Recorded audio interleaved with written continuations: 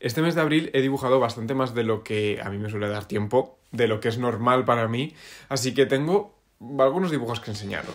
Mira, con este primer dibujo yo pensaba que iba a cambiar como mi estilo de dibujo, mi forma de dibujar, pero al final no lo hizo. Y me refiero porque si os dais cuenta, bueno, lo vais a ir viendo según vaya avanzando el speed drawing, el proceso de dibujo, es em, que hice viñetas. Una de las cosas más importantes para mí cuando dibujo, básicamente lo que a mí me llama a dibujar, es contar como una experiencia o un sentimiento hablar de algo que me preocupa, que tengo en la cabeza y que si no lo saco de la cabeza no voy a estar tranquilo. Al final el dibujo para mí es como una especie de terapia o una forma de evadirme también de lo que sea. No estoy diciendo que dibuje en momentos malos o tristes, sino que para mí es una vía de escape de mostrar cualquier sentimiento o experiencia que haya tenido. Entonces, cuando quiero contar una historia, cuando quiero contar una de esas experiencias, a veces Mm, con la expresión o con la pose que he cogido de la persona, del protagonista de esa ilustración, no es suficiente. Y mira, no me voy a enrollar más, voy a poner directamente el ejemplo de este mismo dibujo, que por eso os lo estoy contando. Si solo os dibujo al chico que está eh, tomando el café así apoyado en la, en la mesa, sentado, me parecía que no explicaba lo especial que es para mí esa situación. Es decir,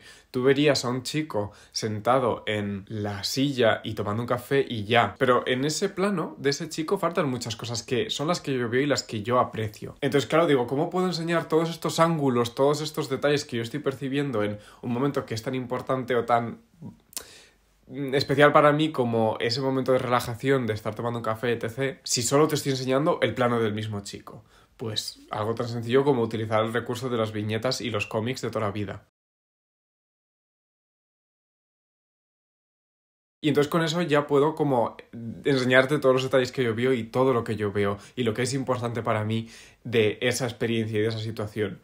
Pues por ejemplo está el café, como lo, pues cuando está caliente lo remuevo, lo que sea, en plan la experiencia de hacerte el café, cuando me pongo a mirar el ordenador mientras también estoy tomando un café, eso para mí es un momento distinto, un momento de relajación, porque si estoy a tope con el ordenador haciendo algo, haciendo un trabajo, un correo, lo que sea, pues estoy a tope y estoy en plan con el teclado, lo que sea. Pero cuando yo estoy tomando mi café eh, o desayunando, lo que sea que esté tomando, y estoy con el ordenador, sé que estoy como simplemente viendo algo o disfrutando del contenido que esté mirando o lo que sea. Matices como este que os acabo de contar se escapan, ¿no? Tú no lo vas a ver todo eso en un mismo dibujo, pero al yo poder mostrarte diferentes ángulos y diferentes detalles de una misma composición, puedo contar más. Y sentí que ahí, con este recurso de las viñetas, podía contar más. Vale, ahora, con este segundo dibujo llega justo todo lo contrario. Es decir, mi objetivo es el mismo. Yo quiero enseñaros, pues, un momento bastante raro para mí, lo voy a decir así, de mis. de, estas, de estos días que estamos pasando en casa, que estoy pasando en casa, y es el fin de semana. Siempre intento que sea un poco especial y hacer algo un poco diferente. Y me acuerdo que había algunos primeros días que intentaba hacer que se pareciera a una fiesta, no sé. Pero aún así, era una sensación un poco rara. ¿eh? O sea, no sé, supongo que estaría pasando cosas parecidas en estos días encerrados en casa. Y esa noche me hice fotos y salieron algunas fotos y una de ellas fue el dibujo del retrato que estáis viendo. Y entonces al ver ese retrato me apetecía dibujarlo, me recordaba a ese momento de esa especie de fiesta en el fin de semana y por eso lo dibujé. Y antes he dicho que esto es el ejemplo completamente contrario al anterior dibujo, porque ¿Por qué?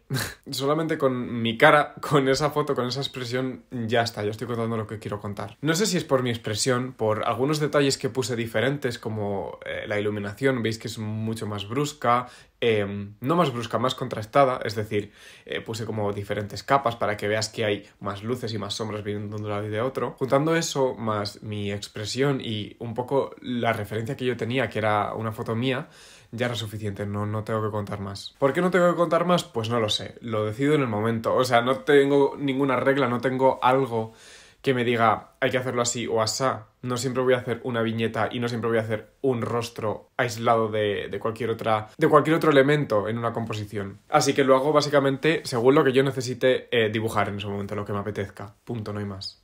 Este siguiente dibujo ya es un poquito más diferente. O sea, mmm, es como el mismo momento en el que yo estoy un poco más pues a mi rollo y tal con la con la fiesta o la especie de fiesta que me monte aquí y nada, y decidí pues tomarme también unas fotos y salieron como unas poses bastante interesantes que me parecían muy Interesantes, sí, esa es la palabra. Aquí se junta que además puedes identificar un poco más la situación o qué es lo que me está pasando si ves elementos concretos. Los más claros son la copa de vino, que obviamente te dice pues que estoy bebiéndome una copa de vino, lo que tú quieras interpretar de ahí, y la frase, no le voy a dar muchas vueltas a, la frase, pero como estamos viviendo muchos... Mm, mucho bombardeo de información de... Eh, tienes que ser mucho más productivo, ahora que estamos en casa, haz más cosas, y eso es algo que nos puede agobiar un montón, a mí el primero, porque yo soy una persona que puede hacer un montón de tareas y se puede meter muchísimo trabajo encima y un montón de cosas apiladas por hacer. Y no me estreso, puedo tener eh, un montón de cosas pendientes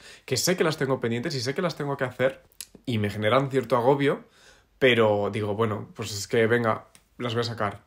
Entonces, eh, claro, cuando yo eh, veo que ahora durante estos días se fomenta mucho más la productividad, el no hay excusas porque estás en casa, porque no sé qué, pues me ha hecho forzarme más incluso. Así que lo que creo que hay que hacer, que es importante, es hacer un ejercicio de autorreflexión, de pararte tú un momento y decidir si para ti sí es un momento de, de mayor productividad, de aprovechar que estás en casa y ser más productivo, o no. Quizás lo que necesitamos es al revés, pensar más en nosotros mismos, ser más egocéntricos, meterte más en ti mismo y analizar cómo estás viviendo esta situación y cómo quieres vivirla. El caso, que todo esto que estoy diciendo, enmárcalo dentro del tema de la productividad, ¿vale? Es la forma en la que yo creo que hay que afrontar eh, todo este tema. Total, que la frase viene de ahí, simplemente, de uno de mis momentos y de qué es lo que pienso de esta situación.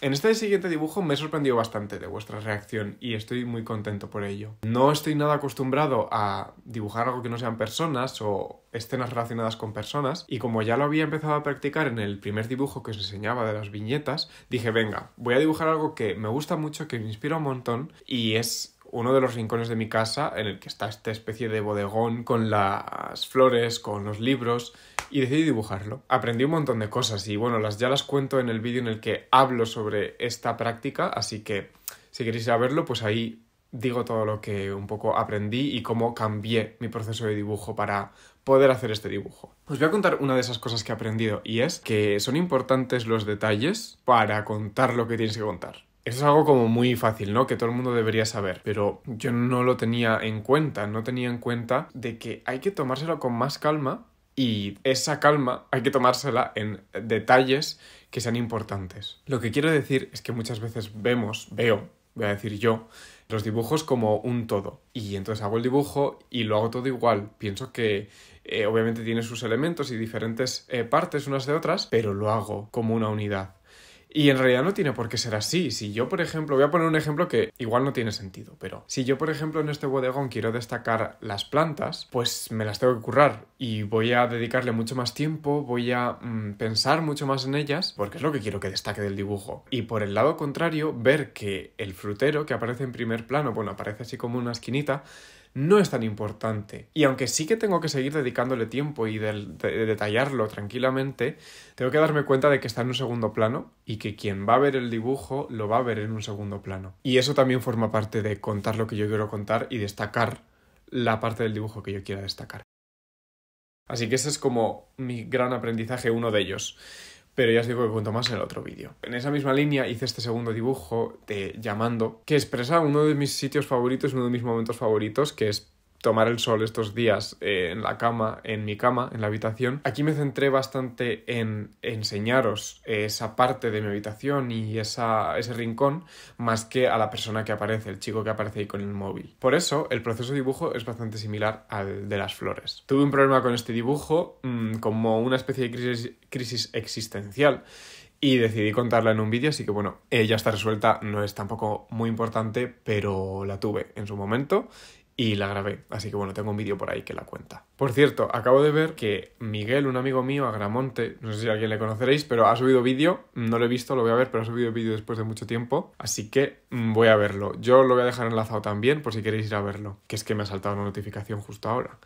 Y ya el último dibujo que he hecho este mes ha sido una modelo, una fotografía de un fotógrafo y una modelo. Me refiero a una foto profesional. Cuando dibujas una persona es importante que tenga una pose interesante y que esté haciendo algo interesante. No tiene que ser agresivo, ni triste, ni no estoy diciendo la emoción. Digo que simplemente sea interesante. Que veas una emoción o que veas algo. Así que quiero aplicármelo y por eso lo, he practicado con una foto de una chica que, que, me gustó un montón, una modelo. La tenía guardada en Instagram, que a veces me guardo fotos que me gustan para inspirarme. Y creo que resume bastante todo mi trabajo durante abril. Lo que he ido dibujando, los diferentes caminos que he ido haciendo y aunque no cuento algo personal mío, está 100% enfocado en el dibujo y todo lo que he aprendido sobre el dibujar fotografías y a modelos profesionales, para mí suponía como un problema moral. No un problema moral, pero bueno, había, tengo yo como un debate interno, que lo cuento en un vídeo también. Así que estará también enlazado y si lo veis, pues podéis ahí ir a opinar sobre ello.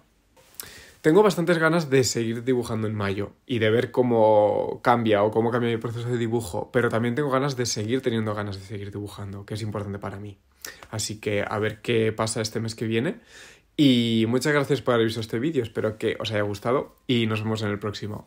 Adiós.